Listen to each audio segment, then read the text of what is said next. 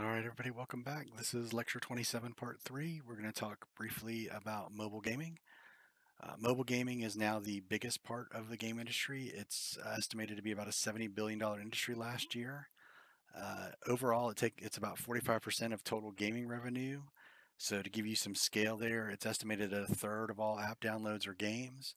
Um, almost 75% of the spending on mobile is game-based and over half of all mobile app users play games. So it's, I mean, smartphones have the single biggest install base in the world. Um, and of course, uh, lots and lots of games of all different kinds being played there. Um, in the United States, time spent on mobile devices has now surpassed television in terms of media consumption. This means that most of us spend the uh, in America we spend more time looking at our phones and fooling with around with things on our phones than we spend watching television, which uh, is a very recent change. Up until very recently, television, even uh, with the advent of all the other forms of entertainment, had still been the most consumed media in the U.S. And today, it is stuff on our fancy smartphones. So you can see why this is the biggest part of the game industry today in terms of revenue.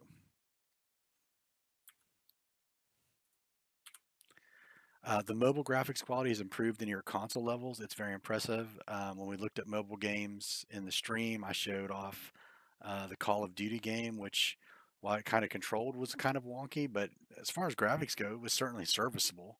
I mean, it's not ray tracing NVIDIA 2060 graphics card level, but it's good enough for most people who just want to play a quick game of something.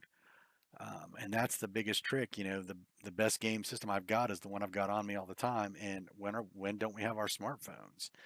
And so that's one of the reasons there that mobile gaming is so large. In addition to just the graphic quality improvements that have come about as smartphone technology keeps advancing, is the fact that almost every genre of game is now represented in some form or another.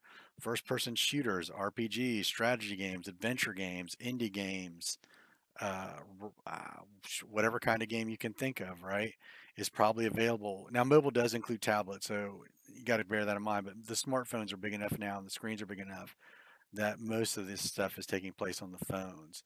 Uh, they've also added subscription models. So they've added things like the Apple Arcade. So for five bucks a month to Apple with no ads, you can play over 100 games. Uh, Google Play Pass is the same setup, five bucks a month uh, will give you access to a whole bunch of games and apps with no ads. So we're also seeing that subscription model that we saw sort of start up with the PlayStation Now and the Xbox Game Pass and the Switch Online with the classic games is now starting to filter to the mobile space. And this sort of mirrors what has happened with Netflix and Spotify, where a lot of us uh, are choosing to uh, buy a subscription to access, access media content as opposed to owning it.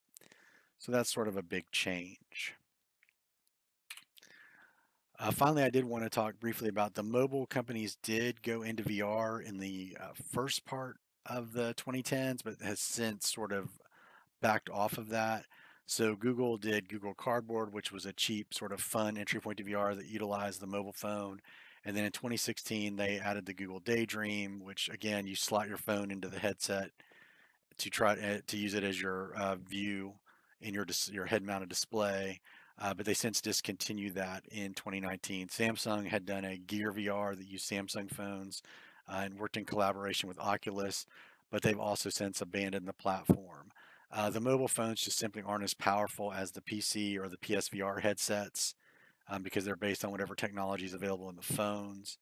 And so as a result, there, there was sort of a, they kind of pushed this for a little bit, see if people were interested.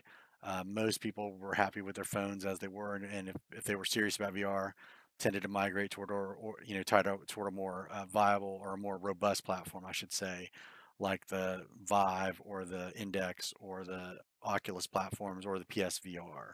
So there doesn't seem to be a lot of interest in phone-based VR at this time, though you did see a lot of success with the AR, the augmented reality games, things like Pokemon Go and the Harry Potter game, where they take advantage of the phone on the camera to project graphics on top of a real setting and they do it pretty well. So mobile VR doesn't look like it's going to be the wave of the future anytime soon, but uh, they did do a lot of explore, exploring of VR on the mobile in the first part of the 2010s. and with that, we'll wrap up mobile gaming today. Just a reminder, it is the biggest part of the game market. It's got the biggest user base. Everyone's got their credit cards attached to it, uh, and every kind of game is available. And the the again, the graphics are good enough for most people.